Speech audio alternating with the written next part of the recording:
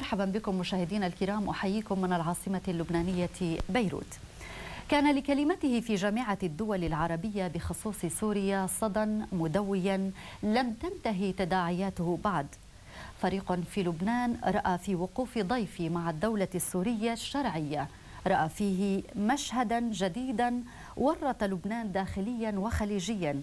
وبالتالي حسب ما قالوا يجب التسريع بأن يكون هنالك ردة فعل لهذا الموضوع أو موقف جديد مغاير.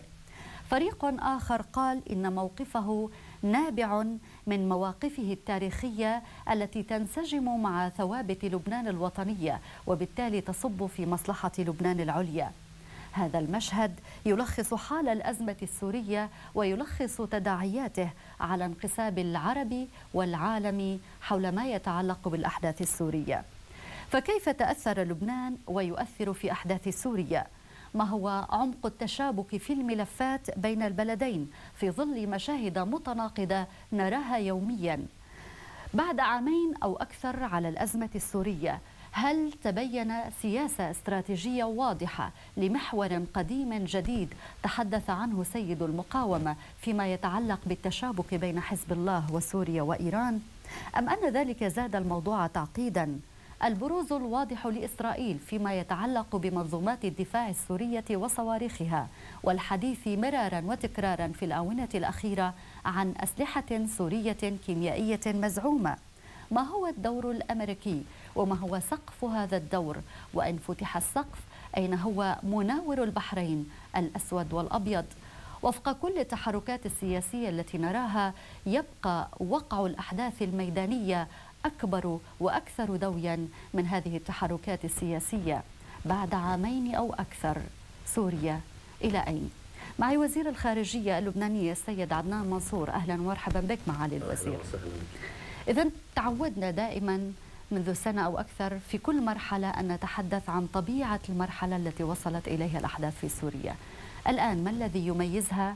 هل وصلت إلى مفترق طرق يجب الاختيار بسرعة أم أن الأمور لم تتضح بعد؟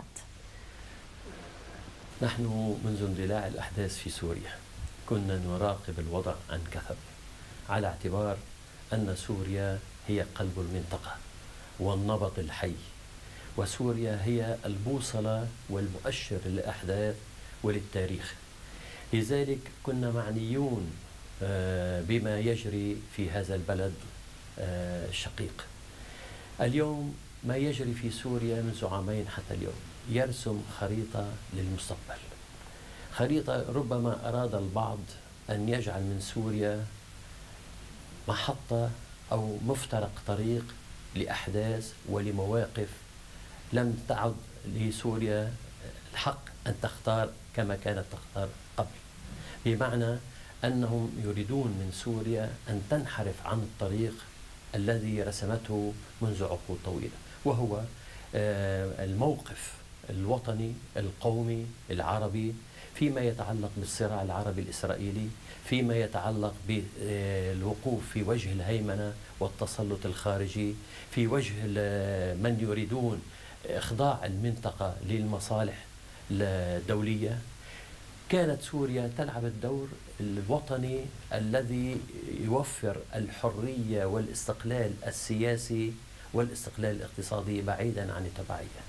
ربما هذا لم يرق للقوى التي تريد آه، لهذه المنطقة أن يكون لها توجه غير التوجه الذي تسلكه طبعا منذ اليوم الأول نحن بالنسبة لسوريا لبنان اتخذ موقفا آه، سياسيا يتجسد في موقف النأي بالنفس ولكن موقف النأي آه، بالنفس أو سياسة النأي بالنفس لا تعني أننا غير آه، معنيين بما يجري في سوريا.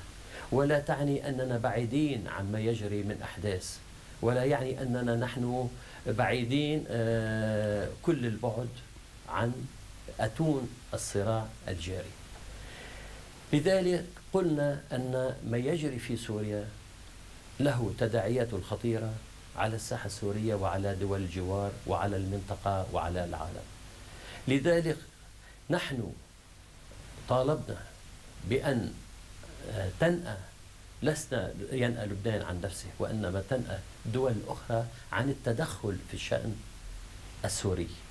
وقلنا إذا كان نريد فعلا تحقيق الاستقرار تحقيق الأمن لسوريا فعلينا أن نساعد سوريا دولة وشعبا على الحوار بين كافة الأفرقاء من أجل إيجاد حل سليم يجنب سوريا المخاطر والأهوال ولا يدخلها في صراع يمتد إلى سنوات ويأكل الأخضر واليابس.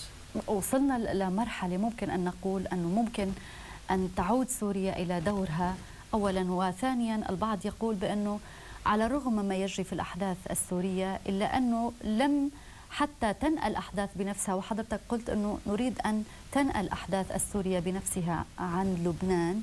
لم تنأى هذه الأحداث. اليوم كيف كيف طبيعة العلاقة؟ صحيح. نحن بحكم الجوار بحكم التاريخ بحكم العلاقة الجغرافية بحكم ترابط الشعوب المنطقة ببعضها البعض سوريا الأردن لبنان فلسطين العراق لا نستطيع أن نقول أن ما يجري في سوريا هو بعيد عن الساحة المشرقية. نحن نأينا بأنفسنا سياسيا عن الساحة في آه، سوريا؟ ولكن هل تداعيات الأحداث في سوريا نأت بنفسها عن الساحة اللبنانية والأردنية والعراقية؟ أبدا. اليوم بعد آه، العمليات العسكرية والاقتتال الداخلي كان هناك عمليات نزوح كبيرة إلى لبنان إلى الأردن وإلى العراق وإلى دول عربية أخرى. لذلك نحن آه، لسنا آه، بعيدين عن هذه الحالة. يعني الأخوة السوريين الذين أتوا إلى لبنان نحن معنيين يعني بهم. يعني علينا أن نتعاطى معهم تعاطي الشقيق مع شقيقه. ولكن وجود الأخوة الفلس السوريين في لبنان يشكل أعباء ليس فقط عليهم وإنما على لبنان بحكم المتطلبات التي بحاجة إليها المتطلبات الآنية العاجلة من إيواء من طبابة من تعليم من عمل إلى آخره طيب. لذلك نحن آه، بهذه الحالة نعتبر أنفسنا أننا آه، بجانب الشعب السوري بجانب الأشقاء السوريين للعمل في أقرب وقت لإيجاد حل للخروج من هذه المحنة التي تمر بها سوريا منذ عامين. لكن ملف النازحين استعمل أكثر من مرة وفي أكثر من طريقة. آخر مرة كان الحديث في مجلس الأمن تحديدا أن يكون هنالك وفد من مجلس الأمن يأتي لزيارة النازحين أو للوضع على ظروفهم في لبنان وفي الأردن. قوبل برفض روسي واشترط الروس أن يكون هنالك زيارة لهذا الوفد للأراضي الفلسطينية. أولا لماذا هذا التخوف الروسي من زيارة هذا الوفد الأممي إن جاز التعبير؟ وثانيا كيف يمكن أن توظف ورقة النازحين فيما بعد؟ البعض يتخوف من استخدامهم على الشروط آه، الحدودي أو على الشريط الحدودي لمرحلة قادمة. شو اليوم أمام مسألة النازحين مسألة إنسانية بحتة. إذا ما أراد البعض أن يسيس هذه المسألة فإنه يذهب بالملف لمدى بعيد. لا يخدم قضية النازحين ولا يخدم سوريا ولا يخدم وحدة سوريا. نحن منذ البداية عندما آه، لجأ إلى لبنان أتى إلى لبنان أعداد كبيرة من الأخوة السوريين. طلبنا من الجامعة العربية إلى عقد اجتماع عاجل لوزراء الخارجية لبحث هذا الموضوع. عندما ذهبنا إلى الجامعة العربية في القاهرة كان عدد النازحين بحدود 130 ألف. والجامعة العربية آه، أقرت مبدأ المساعدة آه، للبنان من أجل آه، القيام بما يحتاجه لمواجهة هذه الأعباء وبعد أقل من 17 يوم عقد اجتماع آخر في الكويت على مستوى دول القمة المانحة للنازحين. وذهبنا إلى الكويت وكان العدد ارتفع إلى 160 ألف نازح. اليوم العدد يتجاوز 450 ألف. عندما كان العدد في لبنان وفي تركيا وفي سوريا والعراق بعدد معين أقر المؤتمر القمة للدول المانحة مبلغ مليار و500 مليون دولار. وهذا المبلغ ذهب إلى آه، ربما آه، جزء منه إلى آه، المنظمات الدولية المتعلقة بأمور النازحين. ولكن طبعا هذا المبلغ عندما رصد كان يعبر عن حاجة معينة من النازحين عن عدد معين. ولكن اليوم عندما تضاعف العدد أو تجاوز العدد أكثر بذلك بكثير فإن ما أقر في مؤتمر آه، دولي في الكويت لم يعد كافيا أبدا ولا يلبي الاحتياج طب أقر لكن وصل؟ هناك جزء وصل وصل للمنظمات الإنسانية المنظمات الدولية التي تقوم بهذا الأمر. ولكن اليوم أستطيع أن أقول المجتمع الدولي لا زال حتى اللحظة مقصرا. لا زال مقصرا لأنه لم يلبي احتياجات فعلا كامل احتياجات النازحين ولا حتى 60% أو 70% نحن اليوم في العالم نسمع من هنا ومن هناك أنه آه، ضرورة آه، مساعدة النازحين وضرورة تقديم العون وهناك ضجة حول ذلك. وهم منهم من يقولون آه، لإنشاء مخيمات داخل الدول الموجودة فيها النازحين أو على الحدود أو إذا كان فعلا هناك من يريد مساعدة النازحين. على المجتمع الدولي العمل في الدرجة الأولى على وقف إطلاق النار. في سوريا. على المجتمع الدولي أن يعمل على وقف الاقتتال أن يساعد كافة الإفرقاء على إيجاد الحل السلمي.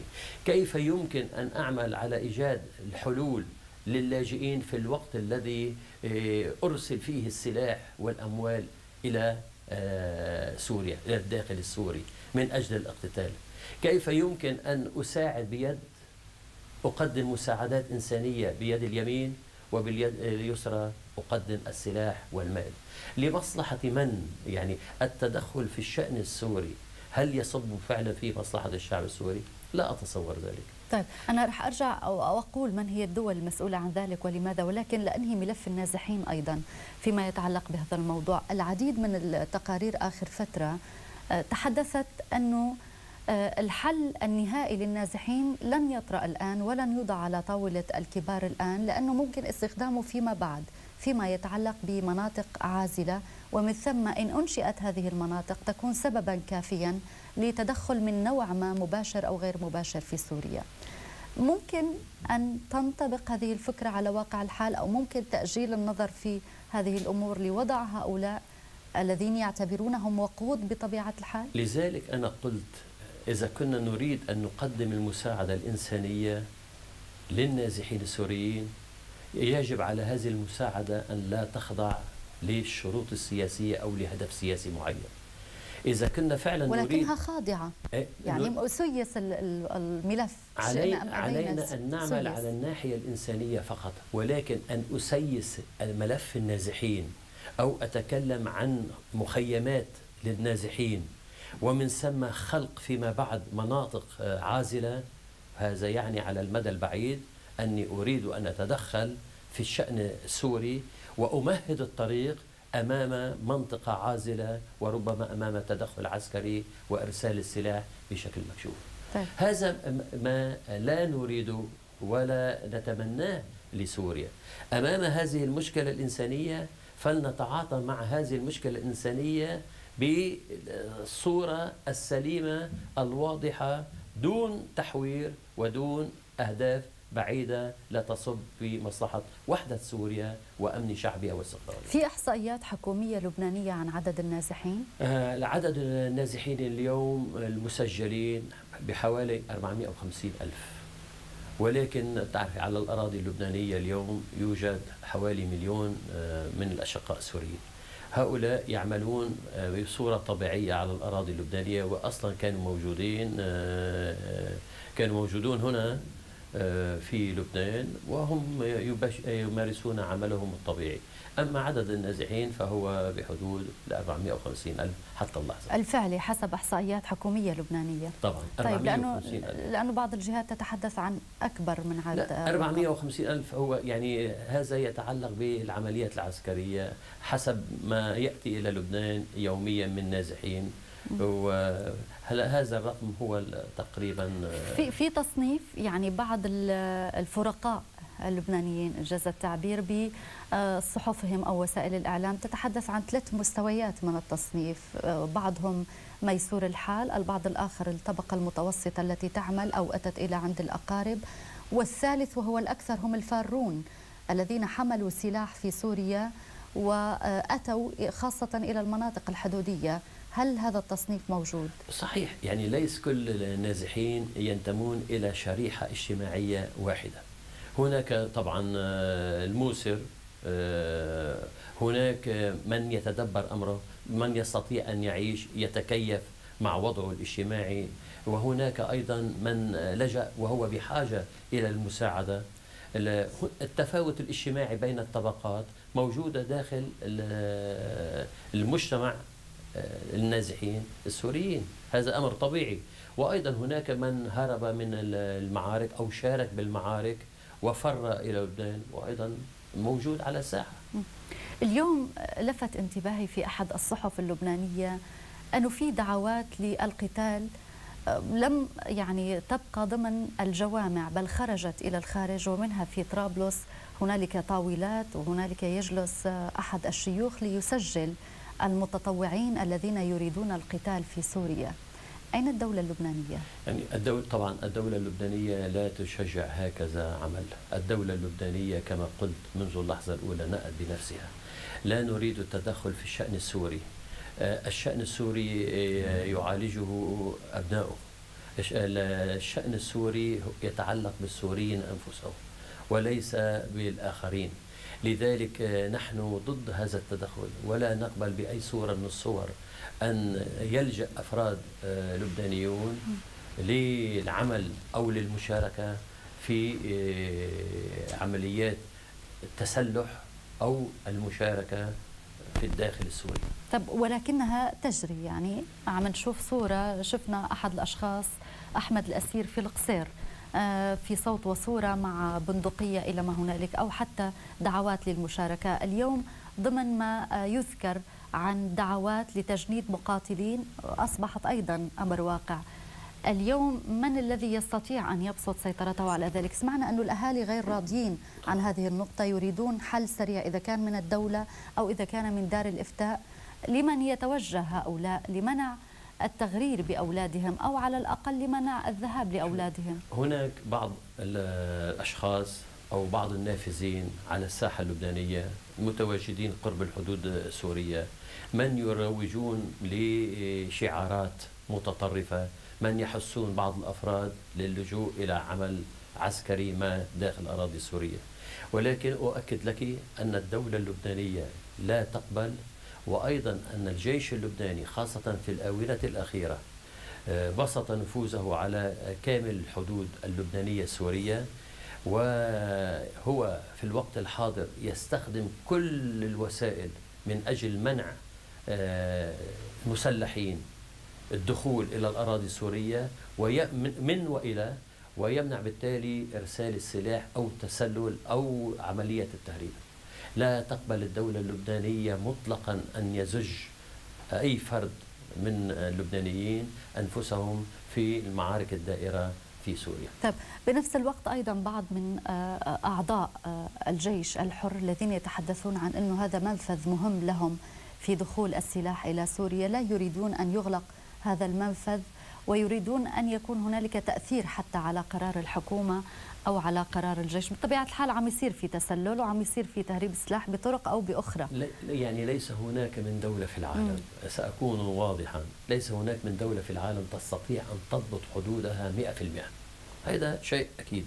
ولكن فرق أن يكون هناك آه، تسريب 1% أو 2% وفرق أن الدولة تسمح بفتح الحدود للجميع وجعل ممر للداخل وللخارج.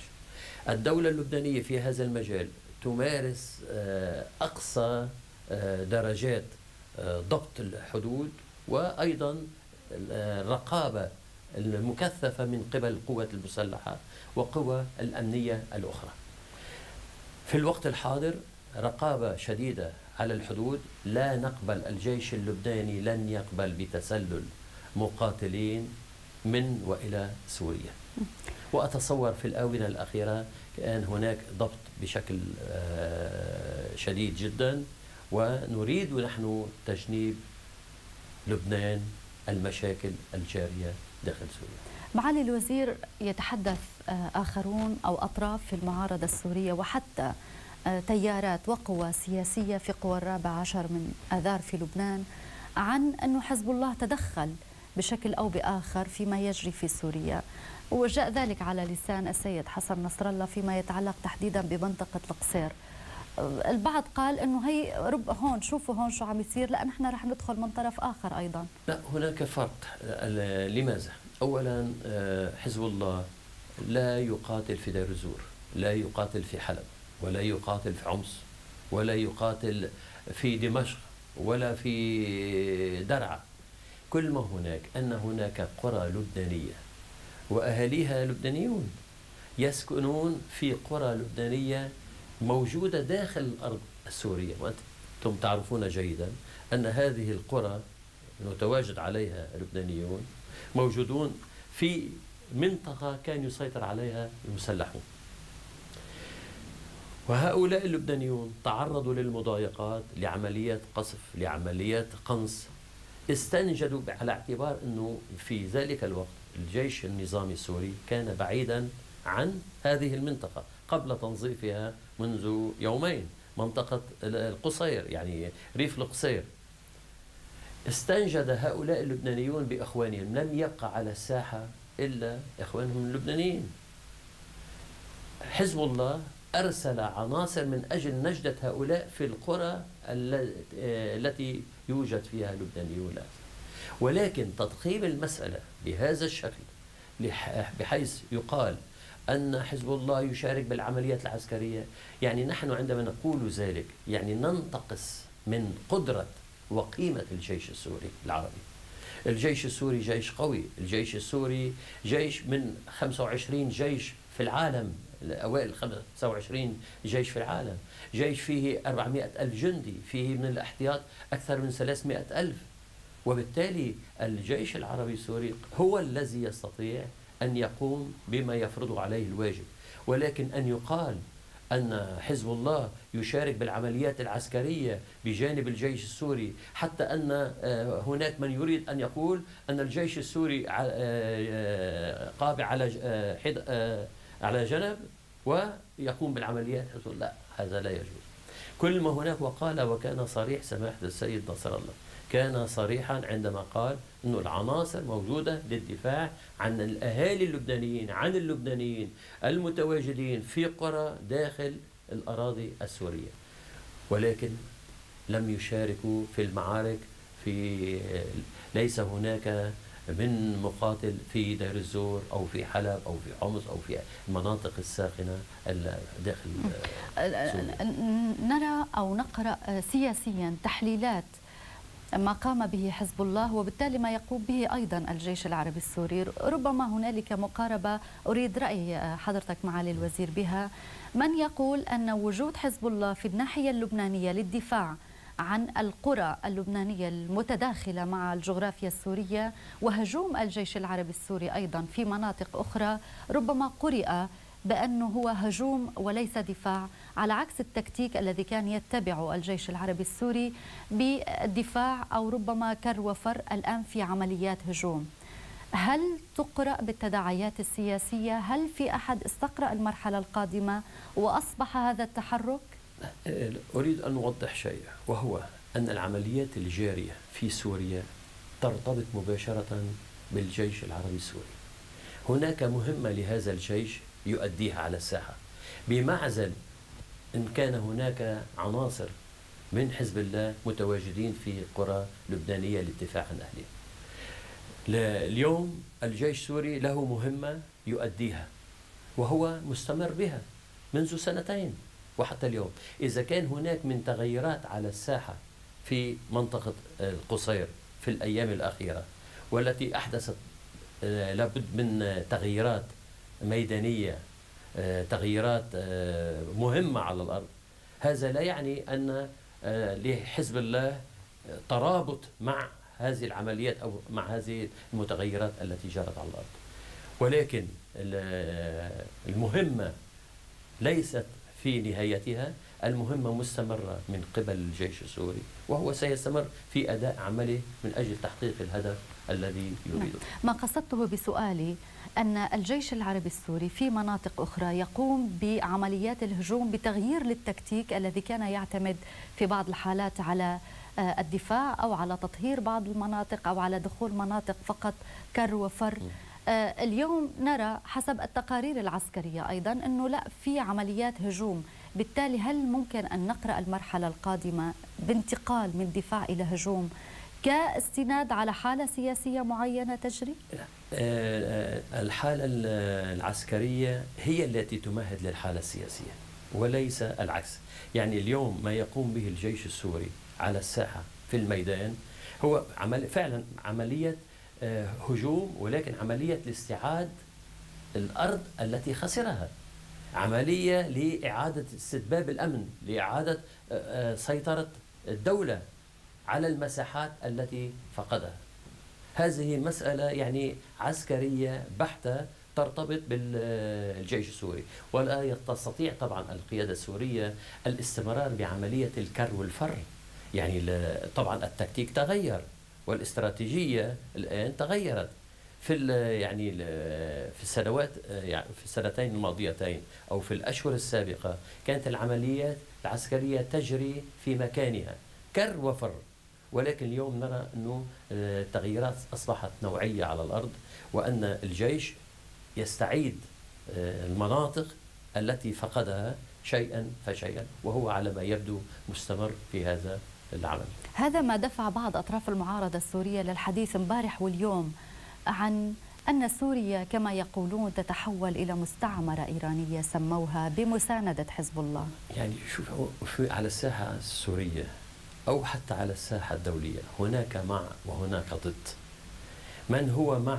يفسر الأمور أنه بالمنظار التي آه الذي يراه. ومن هو ضد؟ يقول أن هناك آه تدخل إيراني لبناني عن طريق المقاومة سوري. لا اليوم الأحداث التي جرت في سوريا والتي تجري في سوريا لم تعد محصورة بالساحة السياسية. طيب عندما أتكلم عن دخول الأموال والسلاح من الخارج طيب مواقف الدول الغربية واضحة. آه، المواقف التي اتخذتها آه، أوروبا أو اللي اتخذها دول عديدة في آه، العالم. مناوئة للنظام السوري وضد القيادة السورية كيف أفسر ذلك؟ ألا أفسر هذا موقفا واضحا ضد النظام؟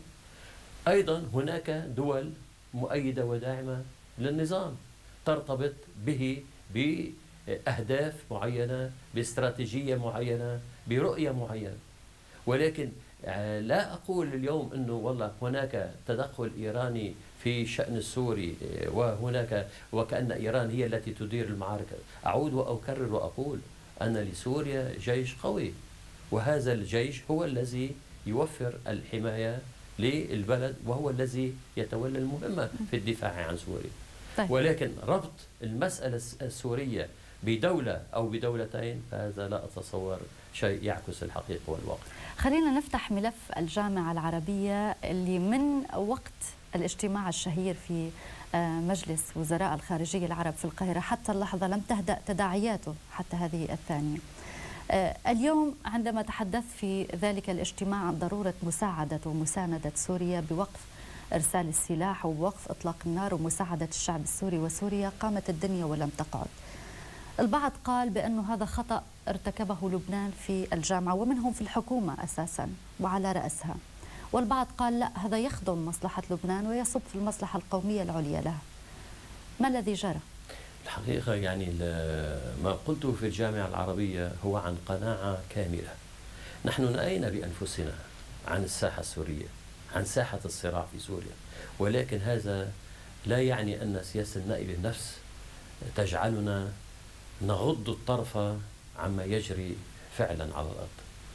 قلت منذ اللحظة الأولى ما الذي نريده من سوريا منذ أن اندلعت الأحداث في سوريا وكان الكلام موجه للأخوة العرب هل نريد الإطاحة بالنظام؟ هل نريد أخذ الملف السوري إلى الأمم المتحدة؟ هل نريد تدوير القضية السورية؟ هل نريد التدخل في الشأن السوري؟ قالوا لا حسن ولكن مع الاجتماعات المتتالية والقرارات التي كانت تؤخذ مع كل اجتماع ضد سوريا كنا نتوقف فعلا أمام ظاهرة كانت تقلقنا وكانت تخيفنا. خاصة وأن التعاطي كان مع دولة هي مؤسس للجامعة العربية ضمن الدول الست المؤسسة للجامعة العربية. لأنه لا يمكن أن نتصور جامعة عربية بدون سوريا ولا يمكن أن نتصور لعمل عربي مشترك من دون سوريا. ولا نتصور لأي عمل قومي عربي من دون سوريا. لذلك في الاجتماع الأخير عندما اتخذت القرارات تلو القرارات ووصلنا للقرار الأخير في البند الثالث من القرار اللي اتخذته الجامعة العربية يقول علينا في نفس القرار العمل على إيجاد الحل السياسي. تكملة. وإتاحة الفرصة لكل دولة لها الحرية أن تقدم آه، المساعدات للمعارضة وحتى السلاح يعني المساعدات العسكرية. كيف يمكن في فقرة واحدة أن أتكلم عن حل سياسي وأسمح للدول بالتدخل وإرسال السلاح وكل أنواع المساعدات من ماذا كيف يمكن أن أوفق بين الحل السياسي وبين الدعم العسكري؟ هذا نقيض. هذا نقيض. قلت في الجامعة العربية. بعد خمسة عشر اجتماعا قرارات تلو القرارات كانت تصدر عن الجامعة. وذلك كله من أجل السلام والاستقرار وتحقيق الأمن في سوريا. تساءلت هل بعد خمسة عشر اجتماعا هل توفر الاستقرار والأمن لسوريا؟ على العكس. دورة العنف استمرت ولم تتوقف. ولذلك نحن نناشد الجامعة العربية. قلت أن تعيد سوريا إلى حضن الجامعة. على سوريا أن تعود إلى حضن الجامعة العربية. وإجراء الاتصالات مع كافة الأفرقاء مع النظام والمعارضة مع كافة الأفرقاء من أجل إيجاد الحل السياسي السليم من أجل إخراج سوريا من أتون دورة الحق قامت القيامة ولم تقعد. ما الذي قلته هل إذا قلت أن تعود سوريا إلى حضن الجامعة تعود إلى حضن جامعتها العربية وهي سوريا المؤسس لهذه الجامعة إذا كان كنا نحن نتوقف أمام رفض عودة سوريا طيب ما الذي يبقى للعمل العربي المشترك هل خروج سوريا أو إبقاء سوريا خارج الجامعة العربية يخدم العمل العربي المشترك اليوم أتصور أن الجامعة العربية في مأزق. على الجامعة العربية أن تحل كانت المشكلة منذ البداية ولم تستطع. رغم كل القرارات رغم كل الدعم الذي توفر من هنا وهناك لفريق من الأفرقاء على الساحة السورية. تخلينا عن دورنا عن دورنا وذهبنا إلى الأمم المتحدة وكلف بان كيمون من قبل الأمين العام ولم يحقق نتيجة. والآن الدبلوماسي المخضرم الأخضر الإبراهيمي وهو كمان أمام مأزق لإيجاد الحل. طب هو يقول أنه لن يستمر يعني أنه وصل لقناعة بأنه يستقيل. طب ما الذي يؤثر؟ ما الذي يؤثر ان أصل إلى شيء وهو أن خلينا نعترف هل استطاعت الجامعة العربية أن تحقق من خلال اجتماعاتها المتواصلة ما ارادت تحقيقه؟ الآن يحملون المسؤولية للنظام في سوريا. طيب. علينا أن نقول أننا فشلنا. ولم نصل لأن كيف يمكن بقرار مثل هكذا قرار؟ بالبند الثالث من القرار الأخير. أن أتحدث في نفس الوقت عن الحل السياسي وأن أرسل السلاح والمال. كيف يمكن للشيء أن يكون هو ذاته وهو غيره في آن معا لا أستطيع لذلك الأزمة مستمرة. نحن نتحمل المسؤولية الكبيرة. نحن كعرب نتحمل المسؤولية الكبيرة تجاه شعوبنا العربية وتجاه أيضا الشعب السوري الشقيق. مسؤوليتنا كبيرة علينا أن نوقف دورة العنف. العنف لا يجر إلا العنف ودورة الموت لا تجر إلا الموت. لذلك يجب وقف إرسال السلاح. طب لمن يتوجه آه هذا الكلام؟ وخاصة الكلام يتوجه للدول التي تزود فريق ضد فريق. آه هذا الكلام اليوم آه في هذا الشهر سيكون هناك اجتماع لبحث موضوع الأمبارجو إنه إذا رفع الحظر عن ارسال السلاح لسوريا. وهذه مسألة خطيرة. ونحن في لقاءاتنا مع المسؤولين الغربيين. دائما نتحدث والموضوع السوري في أولى اهتماماتهم. نقول دائما إذا فعلا نريد الاستقرار والأمن في سوريا ونريد الاستقرار والأمن في المنطقة علينا أن نوقف دورة العنف. ما الذي تريده الجامعة العربية أن يحصل في سوريا خاصة وانه رأينا الائتلاف أخذ هذا المقعد؟ وبالتالي ممكن أن نرى حسب هذه الوجود أن نرى معارضات أخرى تجلس مكان دول. لكن لو سمحت لي بعد هذا الفاصل مشاهدينا الكرام فاصل. ونعود إلى حوارنا مع معالي وزير الخارجية في حكومة تصريف الأعمال في لبنان.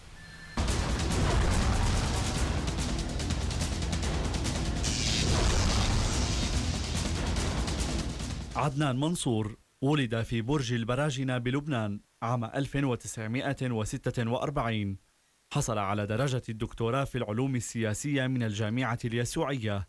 تنقل بين مديريات الشؤون السياسية والقنصلية والشؤون الاقتصادية وفي أهم محطات حياته. عمل في مديرية الشؤون الإدارية والمالية في وزارة الخارجية عام 1974 ومنها عمل قائما بأعمال السفارة اللبنانية وقنصلا في الخرطوم ومن بعدها مستشارا للسفارة في أثينا وقنصلا عاما للبنان في ولاية فيكتوريا بأستراليا وقنصلا عاما في الإسكندرية في مصر. عين سفيرا للبنان فوق العادة مطلق الصلاحية لدى كانشاسا في الكونغو الديمقراطية. وفي الفترة ما بين عامي 1994 و 1999 تم تعيينه مديرا للرموز والاتصالات في وزارة الخارجية. من بعدها في العام 1995 وحتى العام 2007 عين سفيرا مطلق الصلاحية لدى الجمهورية الإسلامية في إيران وشغل منصب سفير لبنان في بروكسل واللوكسمبورغ ولدى الاتحاد الأوروبي حتى عام 2010 عين وزيرا للخارجية في لبنان في حزيران العام 2011 منصور متهم من قبل قوى الرابع عشر من آذار بتهمة العمالة للحكومة السورية بسبب دعوته الجامعة العربية إلى التراجع عن قرار تعليق عضوية سوريا فيها في السادس من آذار عام 2013 خلال اجتماع مجلس وزراء الخارجية العرب. قائلا لنعمل على إيجاد حل متوازن مشرف يخرج سوريا من أتون الحرب ولنعد سوريا إلى حضن جامعتها العربية. فلنعد سوريا إلى حضن جامعتها العربية. ولنرفع تعليق مشاركتها في اجتماعاتنا. فالتواصل مع سوريا لإنقاذها واحتضانها من جديد ضرورة من أجل الحل السياسي. وتعليقا منه على الانتهاكات التي يقوم بها الطيران الإسرائيلي لأجواء لبنان مؤخرا. أدان منصور وزير الخارجية في حكومة تصريف الأعمال الانتهاكات المستمرة قائلا إن هذه الانتهاكات لن تغير شيئا من الطبيعة العدوانية التي اعتادت إسرائيل عليها منذ قيامها وحتى اليوم ضد لبنان. لبرنامج شو رأيك؟ قناة سما الفضائية حيدر مصطفى.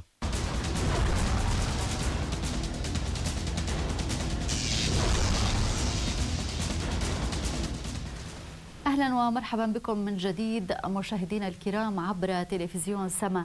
اذا كان السؤال معالي الوزير فيما يتعلق بما هو الهدف. من وراء ما جرى في الجامعة العربية. ما الذي تريد أن تحققه في سوريا هذا اولا؟ وثانيا هل يمكن أن نرى كعرف دبلوماسي في المستقبل القريب؟ وجود معارضات تجلس مكان رؤساء أو مكان مقعد لشعب عربي معين؟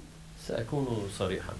اليوم الجامعة العربية عندما اتخذت قراراتها ضد سوريا المتعلقة بسوريا ظنت أن من خلال هذه القرارات تستطيع أن تنهي حالة النزاع وتستطيع أن توفر الاستقرار والأمن في سوريا. وهذا لم يتحقق حتى اللحظة. ما اتخذ من قرار في تصوري لا ينسجم مع دستور الجامعة وأنا قلت صراحة في هذا الشأن ووجهت كلامي لمعالي الأمين العام. هل ما اتخذ من قرار ينسجم مع ميثاق الجامعة العربية لا سيما المادة الثامنة والمادة الثامنة عشر طبعا القرار لا ينسجم. لأن أي قرار يجب أن يحوز على موافقة إجماع كافة الدول العربية. 12 22 دولة عربية. إذا كان هناك دولة بنفسها ودولتان آه، تتحفظان على القرار ومع ذلك القرار اتخذ المسألة ليست مسألة اتخاذ القرار. المسألة هل استطاعت الجامعة العربية فعلا أن تحقق الذي أرادته أنه توفير السلام والاستقرار؟ طبعا نستطيع أن نقول حتى اللحظة أبدا. والدليل أننا ذهبنا للآخرين من أجل إيجاد الحل. عندما نجد أن جامعة عربية تمثل 22 دولة عربية لم تستطع أن تحقق ما هو مطلوب منها لأن اليوم الجامعة العربية التي تحتضن 22 دولة عربية يجب أن تعمل شيء ما من أجل فعلا تجنب الذهاب تجنب تدويل القضية آه، تجنب تدخل الدول الفاعلة في العالم في الشأن السوري. وهذا لم يحصل. الذي حصل أننا فشلنا. الذي حصل أن الدول الكبرى تريد أن تتجاذب القضية آه، المسألة الأوضاع في سوريا. تريد آه، كل دولة أن تنظر بمقياسها الخاص بمنظارها الخاص. وهذا يدخل سوريا في نفق طويل مجهول طيب بالتالي يعني عندما تتحدث بهذا الموضوع وهذه الصراحة ممكن أن نرى أيضا يعني بكرة بنشوف حدا آه، مسؤول قاعد مكان مقعد الجزائري المغربي التونسي. هذا أولا وثانيا يعني بكل صراحة ما هو المزاج العام لدى وزراء الخارجية العرب؟ يعني هل هم مجبرون أم هي قناعات؟ في تصوري يعني آه، لقد اتخذت الجامعة العربية سابقة خطيرة سابقة كبيرة في مجال العمل العربي المشترك. وأتصور أن إخراج سوريا من مقعد الجامعة العربية لا يخدم العمل العربي المشترك أبدا ولا يخدم القضية العربية ككل. ولا يخدم روح الإجماع العربي نحن كنا لأول مرة الجامعة العربية تجد نفسها أمام وضع يعني هناك آه، فعلا آه، ما من لم يريد أن نصل إلى ما وصلنا إليه. وأقولها صراحة مثل مين يعني, يعني؟ لا أريد أن يعني أسمي ولا أريد أن أقول يعني عندما انتهينا من الاجتماعات هناك الكثير من قال لي لقد قلت ما لم نستطع أن نقوله لماذا لم يستطيعوا؟ هذا شأنهم لا أريد أن أدخل بالتفاصيل ولكن كنت فعلا متأثرا يعني حتى بعد اجتماع الجامعة العربية وفي أماكن أخرى كنا نلتقي بأعضاء وفود وكانوا يقولون لي لقد عبرت عن ما لم نستطع أن نعبر عنه وقد قلت كنت صريحا أكثر منا طيب هذا الكلام يعني ماذا؟ هذا الكلام يعني أن فعلا في, في هناك خلل ما داخل آه، العمل العربي المشترك. ولا أريد أن آه، أذكر أسماء. هناك العديدين حتى داخل الجامعة غير مقتنعين. بالذي جرى غالبية أم أم بعض نحن نريد الحفاظ على وحدة كل دولة عربية. نريد الحفاظ على تماسك كل مجتمع عربي. نحن لا نريد أن نتدخل في الشأن الداخلي لأي بلد عربي كان. وكيف الحال إذا كان بلد عربي شقيق شقيقة سوريا. نحن عندما ننظر اليوم إلى المشهد السوري قبل سنتين ونرى ونرى المشهد اليوم فعلا نتألم في داخلنا. سوريا التي كانت آه، البوصلة فعلا البوصلة للعمل العربي سوريا التي كانت الصمام الأمان للقضية العربية المركزية سوريا التي كانت آه، فعلا البوابة المانعة في وجه الاعتداء الإسرائيلي في وجه العدوان الإسرائيلي المتواصل على الأمة نجد اليوم سوريا آه، مفككة لمصلحة من؟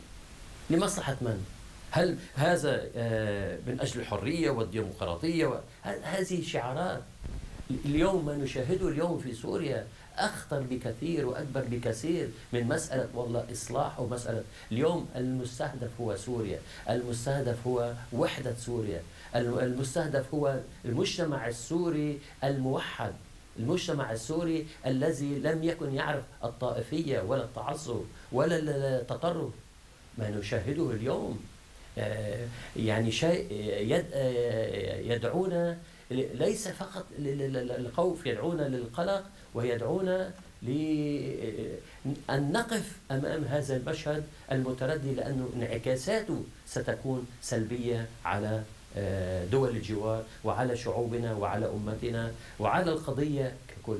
طيب من يمتلك صنع القرار في الجامعة العربية؟ آه، الدول العربية مجتمعة آه، نبيل العربي يعني أم قطر؟ عندما يكون هناك قرار عربي يؤخذ في الجامعة العربية الكل يتحمل المسؤولية. لا أستطيع أن أقول فلان أو فلان أو فلان. اليوم هناك قرار صدر لم يكن هناك من اعتراض على هذا القرار لسبب أو لآخر ولكن كان في هناك آه، نأي بالنفس للبنان كان هناك اعتراض من قبل العراق كان هناك اعتراض من قبل الجزائر. ولكن لا أستطيع أن أقول يعني أريد أن أكون أمينا مع القانون الدولي ومع ميثاق الجامعة العربية. أن أقول آه، انه ما جرى من قرارات آه، تصب في مصلحة سوريا أو تنسجم مع قرارات الجامعة العربية أو ميثاق الجامعة العربية. هذا شأن آخر. طب ولكن أيضا آه، التجربة ممكن أن تكرر حسب ما يتحدث به بعض الأعضاء في الجامعة العربية بمجلس الأمن وكانت هذه آه، رغبة وأصبحت طلبا. لا نعالج السيء بالأسوأ.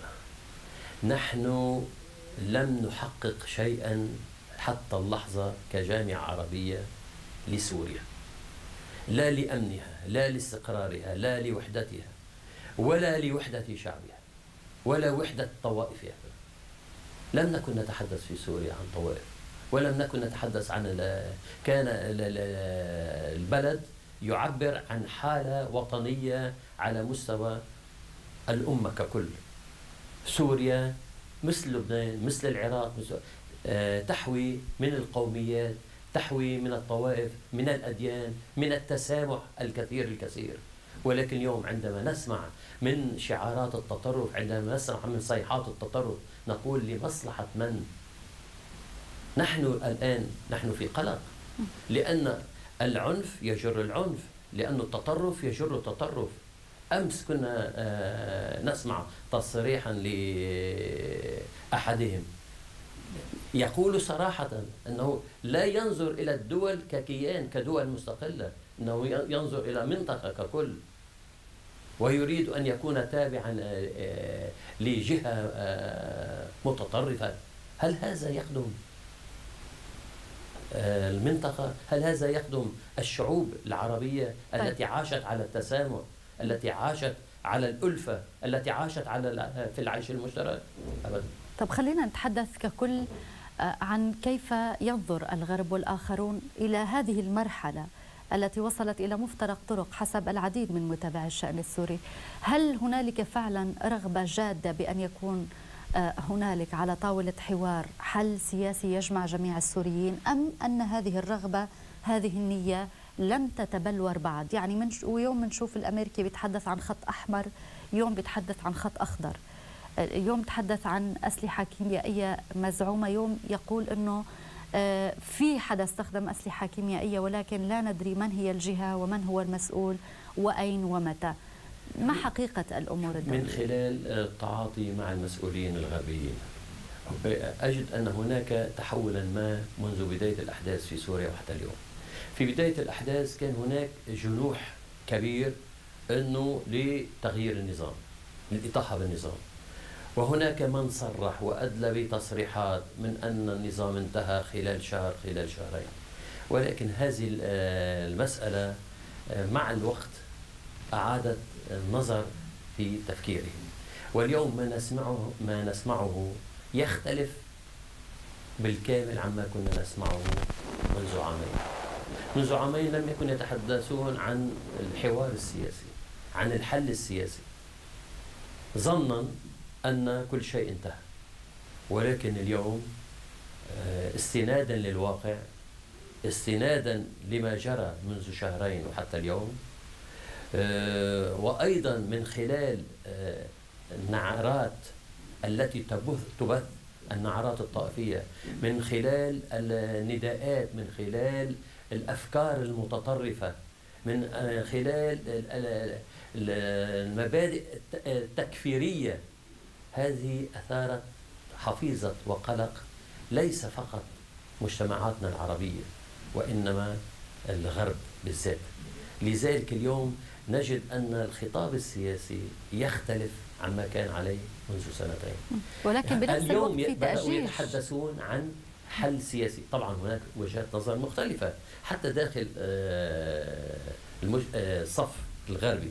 هناك دول تريد أن تذهب بعيدا في تطرفها. وهناك دول لا ترى أن الحل السياسي يبقى هو الحل الأسلم وأن الحوار هو الذي يستطيع أن يخرج سوريا من الأزمة ما الذي يمكن أن نفهمه عندما يقال أن جون كيري من خلال تقرير رفعه إلى الرئيس أوباما يتحدث به عن أنه لا تكرروا الأخطاء؟ عندما كان هنالك قتال للسوفييت في آه، أفغانستان وفي تلك المنطقة أيضا برز التطرف وبرز الإرهاب وكان هنالك أيمن الظواهري وأسامة بن لادن وغيرهم لم يستطيعوا لجمهم فيما بعد.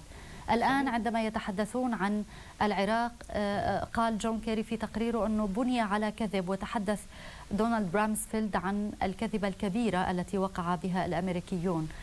هل ممكن أن يتغير السيناريو أو يتعلم الأمريكيون من التجارب السابقة حسب كيري؟ اليوم التاريخ يعيد نفسه. اليوم المأزق اليوم الولايات المتحدة. مرت تعاطت مع أفغانستان وتعاطت مع الحرب في العراق. آه، ليست كل الحسابات التي تحسب تنفذ على الأرض. في أفغانستان منذ عام 2001 لغاية اليوم 12 سنة. 12 سنة. هل آه، التدخل الغربي في أفغانستان استطاع أن يوفر يحقق الأهداف التي أرادها أستطيع أن نقول لا. لأن خروج التحالف الغربي اليوم من أفغانستان سيعيد الأحداث آه، وستؤجج الأحداث من جديد. التطرف لم يمنع ولم يقف عند حدود أفغانستان. انتشر إلى باكستان انتشر إلى العراق إلى سوريا إلى اليمن إلى مالي إلى الجزائر. طيب اليوم أفريقيا ليست بعيدة عن أوروبا. وقلت ذلك لأحد وزراء الخارجية الأوروبيين قلت أفريقيا ليست بعيدة عن أوروبا. إذا كنتم لا تستطيعون أن تمنعوا الهجرة الشرعية العادية مئة في المئة. كيف تستطيعون أن تمنعوا الهجرة المسلحة المنظمة المدربة المخطط لها؟ يعني اليوم نتحدث عن العرب الأفغان أو الأفغان العرب. بكرة نتحدث عن الأوروبيين السوريين. أوروبا تعترف اليوم أن هناك جماعات مسلحة أتت من أوروبا إلى سوريا ويشاركون في الحرب الدائرة طيب عند انتهاء الأوضاع هؤلاء. الآن الأوروبيون يتخوفون من عودة هؤلاء إلى بلدانهم فيما بعد. لذلك أن المسألة مسألة الأمن ليست مسألة ترتبط بسوريا لوحدها أو ترتبط بشعب سوريا لوحده. مسألة الأمن ترتبط بالمنطقة ترتبط بالعالم كله.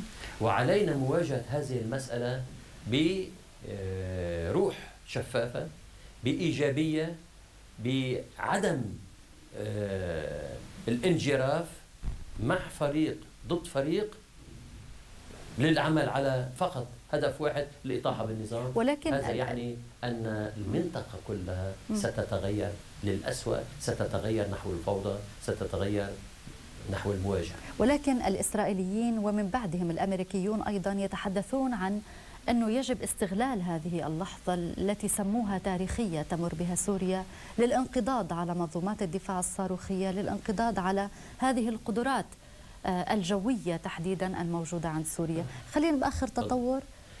يقولون أنه في تخوف أيضا أن تصل هذه الصواريخ مرة أخرى إلى حزب الله. يعني لازم حل سريع برأيهم. شوف لا ننتظر من الإسرائيليين إلا العدوان. لا أحد يتصور نفسه أنه ينتظر من الإسرائيليين أي عمل إيجابي. دولة عدوة مهددة للأمن والاستقرار للمنطقة. ونحن نتعاطى مع هذا الأمر بشكل واضح. إسرائيل دولة عدوة لن ترضى باستقرار لدولة من دول المنطقة حتى وإن أقامت معها علاقات. يعني نحن نرى شبكات التجسس الإسرائيلية داخل مصر. عمليات تهريب المخدرات للداخل المصري. إسرائيل ضالعة في عمليات لتقويض الاستقرار في الداخل المصري. يعني إسرائيل لا ننتظر منها الشيء الإيجابي مطلقا. طب ولكن لديها مرتكزاتها. بمعنى هي أنه ممكن أن تؤخر أي حل حسب الأمريكيين أيضا بهذا الموضوع. إسرائيل تمارس نفوذها لدى الجهات الداعمة لها. إسرائيل لا تريد الاستقرار لسوريا.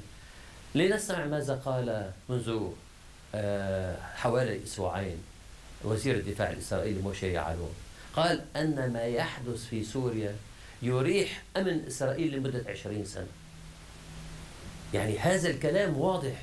يعني أي خلل في دولة عربية أو أي آه، تفسخ في داخل كل دولة عربية هو ضمانة لإسرائيل.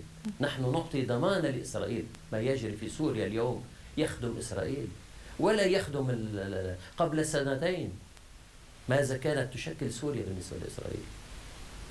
قبل سنتين سوريا درع الحصين ولكن عندما تجد إسرائيل اليوم سوريا تنزف هذا النزف يصب في مصلحة إسرائيل. طب بالتالي هل نحن في دوامة لن يخرج منها السوريون قريبا أم أن وجود مبعوث الرئيس الروسي الخاص بوغدانوف في لبنان حمل معه ربما بعض من آه، ما ينتظره السوريون أيضا من مبشرات على الأقل. لدينا آه، آه، وليد جملات لدينا ما تحدث به إلى السيد حسن نصر الله البعض يتحدث عن أنه ضمن للبنان استثمارات أو هو ضمن استثمارات روسية بالنفط والغاز. ما حقيقة تلك التسريبات؟ شوف سأقول يعني وجود بغدانوف في لبنان هو ليؤكد موقف روسيا الذي لم تحد عنه. ونحن على تواصل مع الدبلوماسية الروسية عبر سفيرها في بيروت. روسيا موقفها واضح منذ اللحظة الأولى وهو عدم التدخل في الشأن السوري وترك القرار لسوريا. سوريا هي التي تقرر آه، قرارها بنفسها. دون آه، تدخل العسكري دون التدخل من دول أخرى في العالم في الشأن الداخلي السوري هذا موقف آه، روسيا واضح. ولكن اليوم نستطيع أن نقول أن المسألة آه، الوضع في سوريا لا ينحصر في إطار الحدود السورية. لنكن واقعيين. اليوم المسألة مسألة دولية أصبحت هناك تجاذبات. هناك طبعا الاتحاد الأوروبي. هناك الولايات المتحدة. هناك روسيا. هناك الصين. هناك إيران. هناك بعض الدول العربية. إذا علينا اليوم كدول الفاعلة في العالم أن تساعد سوريا على حل مشترك على توافق ما بين المعارضة في الداخل المعارضة الوطنية في الداخل والنظام. ولا يمكن اختزال فريق على فريق. آه، روسيا مع هذا الحل إيجاد الحل بين الأفرقاء داخل. إيران كذلك.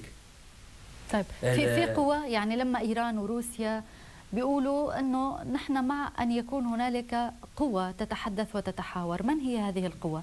قبل قليل عندما تحدثت عن إعطاء المقعد للائتلاف في كثير من المجالس العسكرية لا يعترفون بالائتلاف. في كثير من المعارضين في الخارج وشكلوا هيئات خاصة. حتى معارضي الداخل لا يعترفون أساسا بالائتلاف الجبهة الشعبية الهيئة وغيره. بالتالي كيف ممكن؟ صحيح. هنا النقطة. هنا المأزق. هنا المأزق. اليوم عندما نتحاور نتحاور مع فريق الدولة ممثلة بالنظام. هذا فريق. المعارضة يجب أيضا أن تتمثل بفريق واحد. لا يمكن التعاطي في أي بلد من بلدان العالم. عندما يكون هناك نزاع في الداخل ويكون هناك فرق وأطراف وحركات ومنظمات لا تستطيعين أن تجدي آه، حوارا مع الجميع بدون استثناء أبدا علينا أن يكون هناك صوت معبر عن المجموعة المعارضة كيف يوجد هذا الصوت؟ ما السبيل؟ هذه ليست مسؤولية النظام وهذه ليست مسؤولية روسيا هذه مسؤولية من يدعم هؤلاء الأفرقاء على الساحة هم إذا الحوار يتم بين بين في البداية قالت المعارضة نحن نرفض المحاورة مع النظام إذا كيف نتحدث عن حوار؟ وكيف نتحدث عن الحل السياسي؟ الحل السياسي يتم بين أفرقاء والحل يتم عبر الحوار. الحوار لا يكون مع الذات لا يكون مع آه، فريق مع نفسه. الحوار يتم بين طرفين أو أكثر. طيب معالي الوزير خلينا نفرض أنه هنالك من مثل أو استطاعت أمريكا أو حتى حلفاء المعارضة السورية إيجاد آه، حدا يكون يعني مع الدولة السورية أو حتى مع الوفد اللي شكل من رئيس الحكومة وثلاث وزراء. بالتالي هل هؤلاء بيمونوا على من يعملون في الأرض يقاتلون في الأرض السورية أم أنه الموضوع متشعب أكثر من ذلك بكثير؟ أتصور اليوم على الساحة السورية المسألة واضحة. عندما يكون هناك دول آه، في العلن تبوح وفي العلن تصرح أنها تدعم فريقا ما وتقدم السلاح وتقدم المال. أتصور أن هذه الدولة أو أكثر من دولة تستطيع أن تمارس ضغطها وتقود هل هذا الفريق للحوار السياسي. ولكن, ولكن, ولكن إذا كانت هذه الدول إذا كانت هذه الدول لا تريد الحل السياسي وتستمر في تزويد التزويد بالسلاح والمال طبيعة الحال الأزمة ستطول. طيب يعني الدولة السورية تتحدث عن أنه الموضوع متعلق بالخارجين متعلق بالأجانب يعني ممكن أن يكون هنالك حوار مع مسلحي الداخل في سوريا ولكن من أتوا في الخارج أيضا كثر. من الملاحظ حوالي شهر للآن في تصعيد بسقف الخطاب السياسي والمذهبي في محاولات لاستثارة المشاعر أيضا بهذا الموضوع من الاعتداء على آه، أضرحة إلى آه، آه، استثارة شعور معين. التركيز على أن يكون هنالك مرة أخرى من جديد فتنة سنية شيعية يسعى لها كثير من الآخرون. وهذا الموضوع ليس بجديد وإنما اليوم عم نشوف أنه كثير عم يستثار هذا الموضوع. إلى أين ممكن أن يصل؟ إلى أي مدى ممكن أن يصل؟ اليوم على ساحة الصراع في تيارات مختلفة تيارات متناقضة تيارات متعارضة لا تصب كلها في هدف واحد. هناك فعلا حركات وطنية هناك معارضة وطنية تريد أن تصل إلى الشيء الذي يوفر الأمن والأمان للبلد. ولكن أيضا في جماعات متطرفة جماعات لا تريد أن تنهي سوريا وتخرجها من الأزمة. هناك من يرتبط بالخارج وهناك من ينفذ آه، أجندة معينة من أجل استمرار الوضع إلى ما لا نهاية. ولكن لا نستطيع أن نقول أن جميع هؤلاء هم في آه، خط واحد لا. لذلك نحن عندما نتحدث ونقول أنه لابد من حل سياسي طبعا الحل السياسي يجب أن يتوفر لأصحاب النوايا الحسنة. الحل السياسي لا يأتي بين أفرقاء آه، متناقضين بين أفرقاء لا يريدون الحل وإلا لماذا الحل. هناك عندما آه، صدرت تصريحات للذهاب للحل هناك فورا من اعترض على الذهاب للحوار وهناك من اعترض على محاورة النظام. طيب ماذا يريد هذا الفريق؟ أو أكثر من فريق؟ إذا كنت أنا في خلاف مع شخص أو خلاف مع نظام وأريد أن أصل لحل وأريد أن أصل إلى نتيجة هل أقول لا أرفض الحوار؟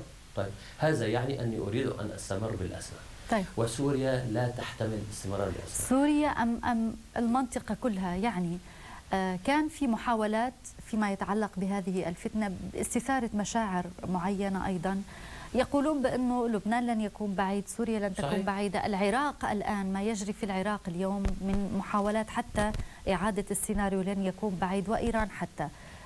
إلى أي مدى أو ما هو حده؟ هل ممكن أن يمضي هذا المشروع؟ اليوم تأجيج الفتنة. لاحظنا بعد 2003 بعد الغزو الأمريكي للعراق.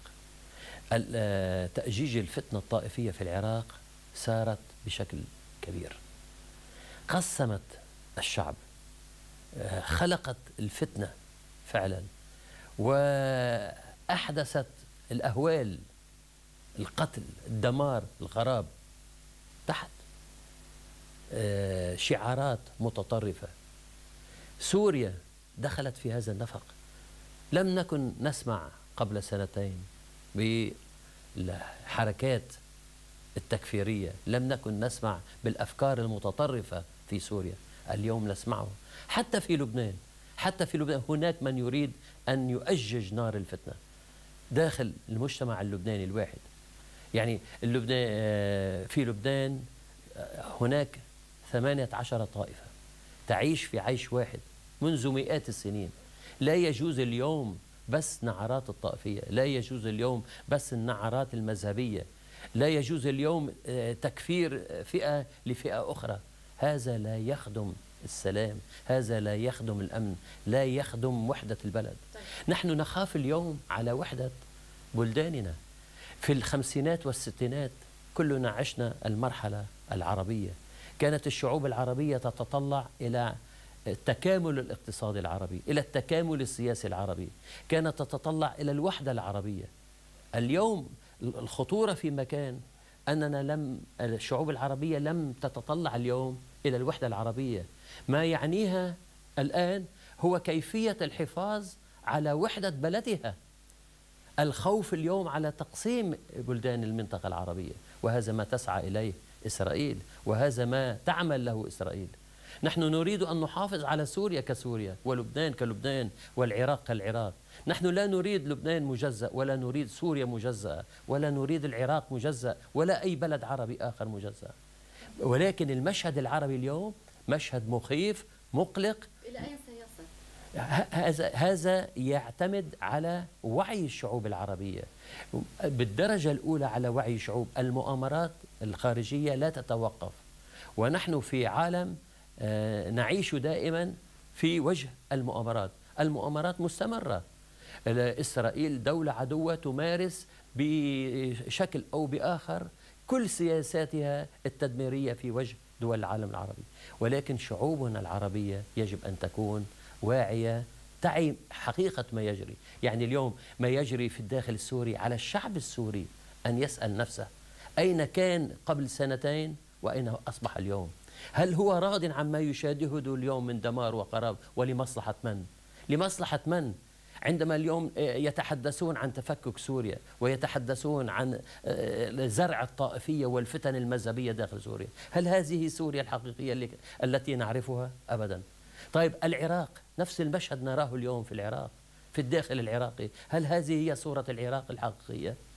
ما نريده اليوم فعلا وقفة شعب أن يقف وقفة واحدة ليتجنب مخاطر ما يحيكه الغير الدول الدول التي ربما ينظر إليها أنها دول في الخارج تريد أن تدعم الحل. الحل لا يأتي من الخارج. الحل يأتي من الداخل. الحل يأتي من الداخل لأن الدول التي قسمت المنطقة لن تعمل على إعادة وحدتها ولكن ولكن في أدوات ممنهجة وعلمية وذكية بالتعاطي مع العقل العربي وهنا أتحدث قليلا عن الحكومة اللبنانية قبل أن أختم العتيدة القادمة إنجاز التعبير آه الآن هل هو الموضوع مرتبط بحل الأزمة السورية؟ هل الموضوع مرتبط بعدم وجود آه ثلث معطل ضامن لفريق 8 آذار؟ هل الموضوع مرتبط بالملف السوري كليا أم بدولة عربية أخرى يكون لها أيضا قاسم مشترك بهذا الموضوع. بأي شكل من الأشكال سوف تظهر هذه الحكومة؟ الأزمة الحكومية ليست هي الأزمة الأولى للبنان ولن تكون الأخيرة؟ لا أتصور يعني منذ 2005 عند تأليف أول حكومة بقينا عدة أشهر والحكومة الثانية أيضا بقينا. والحكومة الحالية مضى ثلاثة أشهر أو أكثر بقليل من أجل تأليف الحكومة. اليوم آه، الحكومة الجديدة أو تشكيل الحكومة الجديدة آه، أمامها قانون الانتخابات. وهناك ربط على ما يبدو ما بين قانون الانتخابات وتشكيل الحكومة. إيجاد قانون جديد للانتخابات هو جزء من حل لتشكيل الحكومة اللبنانية. يعني أي إلى أي حد مرتبطة بالحل في سوريا أو بالأزمة في سوريا؟ لا يعني بالنسبة إنه لا خلينا لا. نأخر شوي نشوف لا ليس لها. هناك من يدعي أن هناك من يعمل على تأخير تشكيل الحكومة بسبب الأوضاع في سوريا. لا أتصور أن ذلك مرتبط بالوضع في سوريا ولكن نحن بمجرد ما أن نتبنى قانون جديد للانتخابات وأيضا ستشكل حكومة ستجري الانتخابات النيابية. بسؤال أخير آه، متعلق بما تشهده المنطقة أيضا ككل إذا كان لبنان أو سوريا أو العراق أو حتى التداعيات السياسية الدولية إلى هذا الموضوع. هل آه، تعتقد أنه ممكن أن يكون هنالك حل ولو بشكل تدريجي للأزمة في سوريا استنادا إلى ما يجري في الميدان استنادا إلى ما يجري في الأروقة السياسية والترابط بينهما. أتصور أنه الميدان هو الذي يحسم المسألة. سيساعد جدا على إيجاد مناخ دولي من أجل الإسراع في الحل السياسي. غير موجود هذا المناخ حاليا؟ هذا المناخ يتوفر يعني المعطيات على الأرض في سوريا آه، تساعد أطراف كثيرة في العالم من أجل الإسراع أو لعمل آه، شيء ما من أجل آه، إيجاد حل سياسي. اليوم آه، المشهد الذي نراه داخل سوريا النظام قوي وهذه باعتراف وبشهادة دول خارجية فاعلة ومؤثرة. ويعترفون ويقولون أن ما ظنوه قبل سنتين أنه النظام انتهى وصور لهم أنه لا يمثل شيئا لا على الأرض اليوم بعد سنتين. وبدأوا يعترفون فعلا أن سوريا ليست ك بعض الدول العربية التي جرت فيها أحداث وهي تختلف عما جرى فيها. أنا أشكرك جزيل الشكر. أولا لاستقبالك هنا في منزلك لنا وثانيا لوجودك معنا عبر تلفزيون سما. شكرا جزيلا. يعني كل ما نتمناه هو عودة الاستقرار وفي أقرب فرصة لسوريا لأن سوريا تمثل آه، ليس للبنان فقط وإنما تمثل لأمتها الشيء الكثير الكثير. يعني عانى الله سوريا على أمورها ونتمنى نتمنى أن آه، الألفة تزرع من جديد والشعب السوري الشقيق يستعيد عافيته ويعي حقيقة ما جرى على الساحة السورية. وما يدبر له من مخططات ومن آه، مؤامرات تهدف إلى زعزعة استقراره وأمنه وبالتالي زعزعة أمن واستقرار المنطقة. لأننا جزء من كل ولا نستطيع أن نفصل بعضنا عن بعض. أنا أشكرك مرة أخرى السيد عدنان منصور وزير الخارجية في حكومة تصريف الأعمال في لبنان. شكرا جزيلا. شكرا لك. اسمح لي أيضا أن أشكر مشاهدينا الكرام وأشكر المصورين هنا في فريق العمل في بيروت خلف الكاميرات. كما أشكركم مشاهدينا الكرام على أمل أن نلتقي بكم غدا في تحليل سياسي آخر. السلام عليكم.